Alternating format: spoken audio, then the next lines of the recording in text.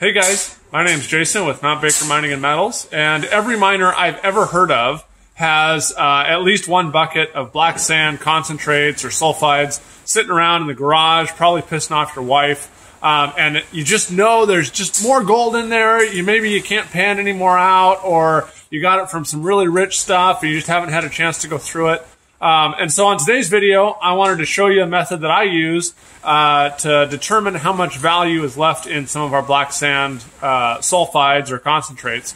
And it's essentially a modified fire assay. So we'll take a look at some sulfides and then we'll walk you through the process.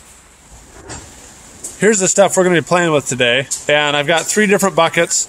Uh, these are all kind of middlings off the shaker table I've been saving. Uh, not sure how much gold's in here but it's uh, it's mostly iron pyrite. You can see here, if we can get the camera to focus, um, it's it's mostly iron pyrite, and uh, it came off some ore that had quite a bit of uh, electrum in it, the gold and silver mix uh, alloy, and so uh, we'll get uh, a pretty good sample of this stuff between the three of these buckets, and we'll smelt some down and see if we can recover any precious metals.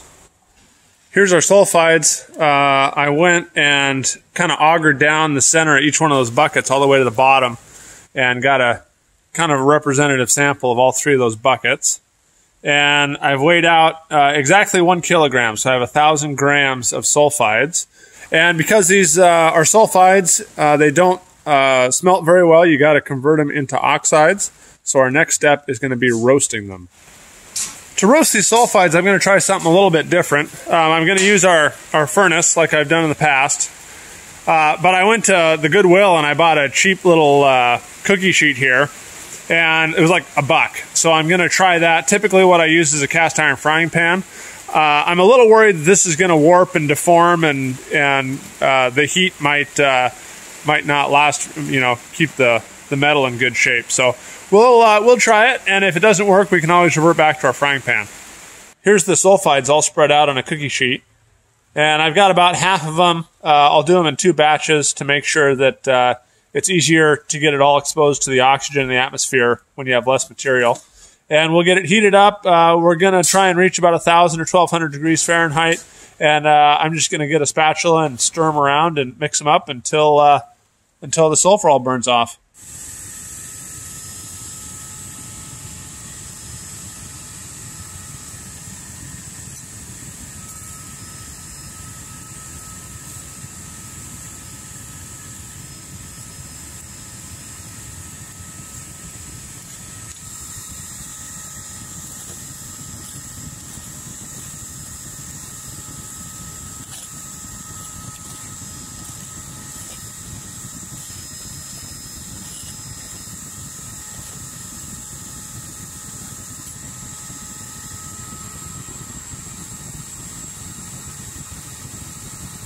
All right, we got our batch finished roasting. Uh, there's our full kilogram of material.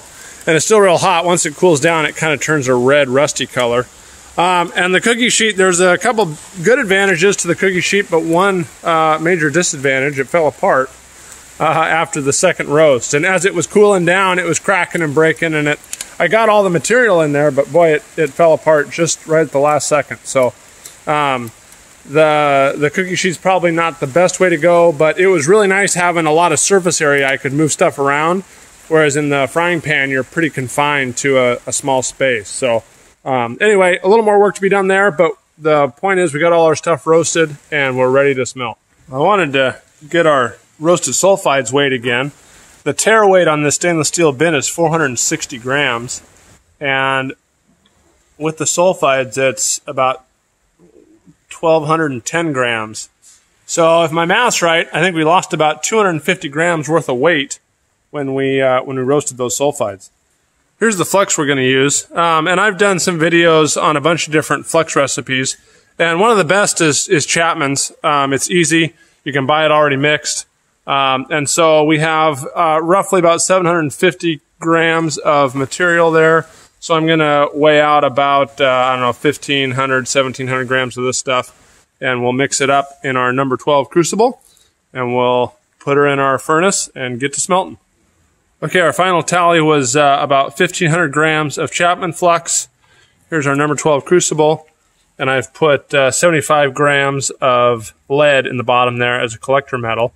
And I've pretty much convinced myself. I did another video series um, experimenting with different collector metals, and I've pretty much convinced myself that if you put your collector metal right at the bottom of the crucible like that, um, you get a really high percentage of gold recovery. So um, we're going to put it at the bottom. I think as uh, the material melts, becomes liquid and molten, and all the convection currents in there and everything, get all the little pieces of metal mixed in and uh, end up touching that collector metal blob at the bottom of the crucible at some point. And I think as soon as any little chunk of, of molten metal touches that collector metal blob at the bottom, it uh, it sucks right into it. So that's my theory on how you get such high recovery, even though your collector metal isn't uh, interacting with the whole charge uh, during the smelt.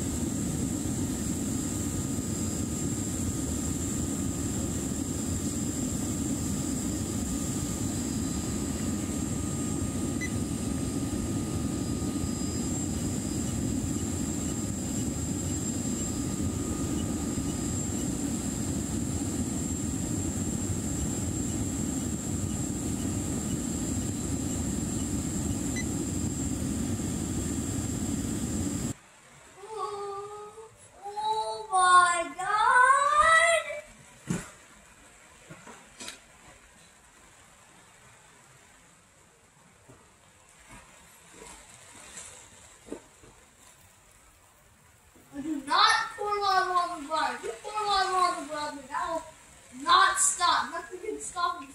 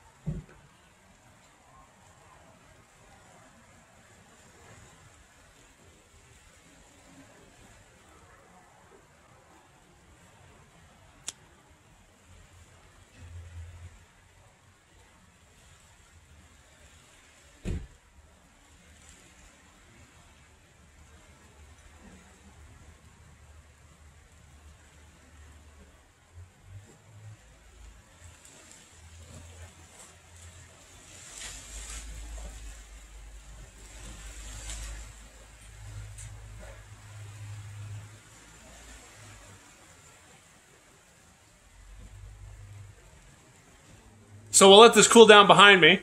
And uh, one of the important things is when you're using lead as a collector metal, lead has a really, really low melting point. So you got to let that cool down a long, long ways uh, before you try and knock it out of there. Because if you if you turn it over and the lead's still molten, you just get lead splashed everywhere. So you don't want to do that.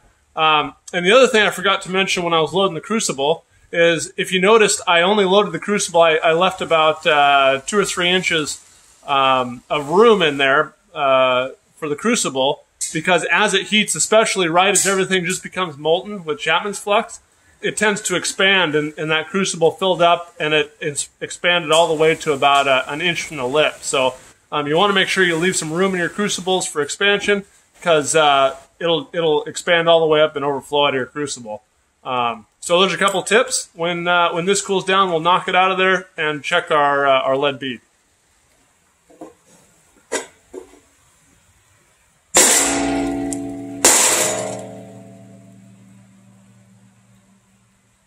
All right, so we got a little problem here. We got our, our slag over here, um, which is nice and glassy and broke off real nice. And then we have our matte phase here. This is this is uh, the sulfides. I guess I didn't roast it long enough, and we got uh, a little bit of sulfide that didn't end up getting all oxidized. Um, and then we have our lead bead here. So um, I gotta I gotta crush this up, roast it again, fully oxidize it, resmelt it with the lead button and uh, and then we can cupel our lead. So let me go do that and uh, and see. I want because this will this will actually hold some gold and silver. Um, I proved that uh, a couple videos ago, and we tested out some different uh, smelting fluxes. So I want to get rid of this. I want to fully oxidize it. So I'll crush it up, get uh, get it down fairly fine, and then uh, re-roast it. So I actually uh, just thought about it for a second, and I changed my mind. I'm gonna cupel this lead button and see how much gold and silver we get, and then I'm gonna roast the matte independent, resmelt it, and then see how much gold is in the in the matte, um, gold and silver. So uh, we'll take our first lead button. It ends up being about 60 grams, so we lost about 15 grams to the matte. Um, so let's get this cupelled, see if we got any gold and silver, and then uh, and then we'll reprocess the matte and see if we lost any in the in the matte. There's our little cupel with our lead button in it, and we got a 60 gram button and a cupel that'll do 69 grams worth of lead, so it's going to be close. Um, and obviously, this is super way overkill for cupelling, um, but right now it's all I got. So uh, we're going to do a little tiny cupel in a great big furnace.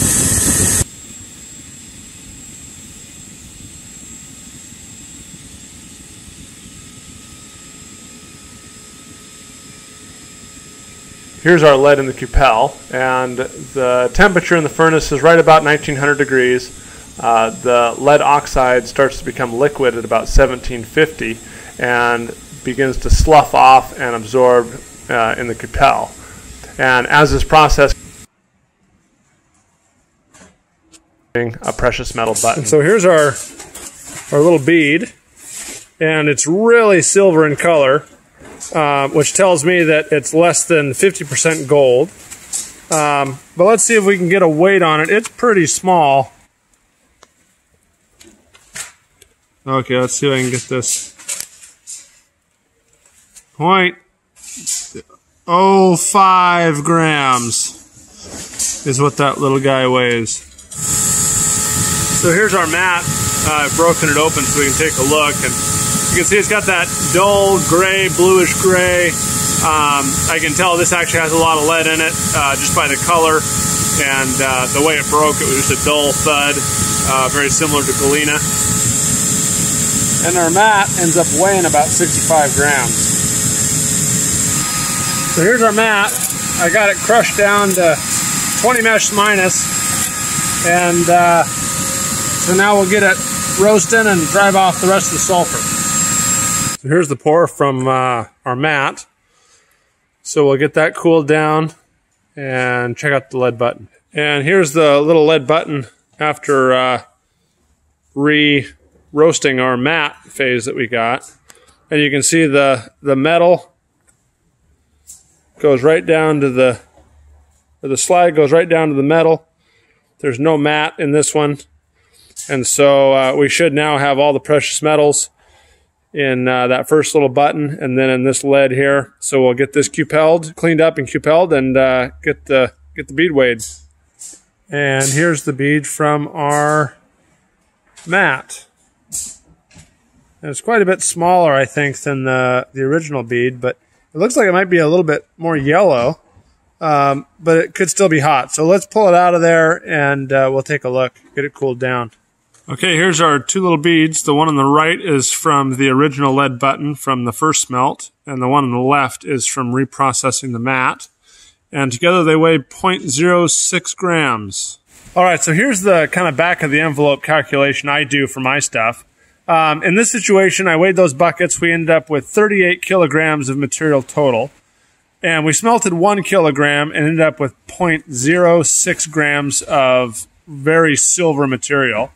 And so if you multiply that by a thousand um, kilograms in a ton, you get 60 grams per ton of silver stuff.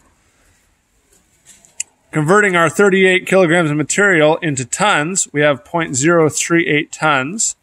And if you multiply 60 grams per ton, in all those buckets, there's 2.28 grams worth of stuff of precious metals. I know that about uh, an alloy of half silver and half gold is pretty silver in color. And so if best case scenario, it's half gold, in those 38 kilograms, we have 1.14 grams of gold. And if it's a quarter gold, we only have 0.57 grams. So in in those buckets, in all 38 kilograms, we may have fifty dollars worth of gold. The silver is worth nothing essentially, um, and so by that calculation, those three buckets aren't worth me saving at all. I'm probably going to spread them on the road or dump them in the ditch or something, get rid of them. Um, but at least I know now, just real quick, back of the envelope, okay, there's not enough precious metals in there for worth saving. And so I can get it out of my way and out of the garage and, and make my wife happy. So um, that's kind of just in a nutshell how I like to uh, sample material that I have laying around. And it gives you, it's not a professional assay, but it gives you a really good idea of what you got and if you want to hold on to it for longer or just ditch it. So I hope you guys enjoyed the video. Maybe you learned something, and uh, hopefully you can apply it to what you have going on uh, with your gold projects. So again, thanks for watching, and we'll see you on the next one.